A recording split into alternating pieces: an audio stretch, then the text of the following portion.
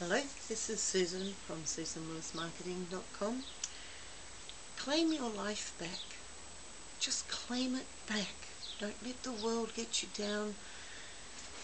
Learn to dream. Do not lose your concept of how to dream.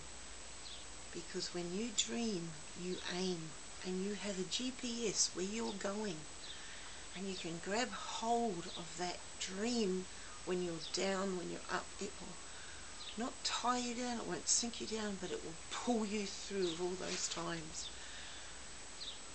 And that's really, really important. As soon as you can dream, you know where you're going.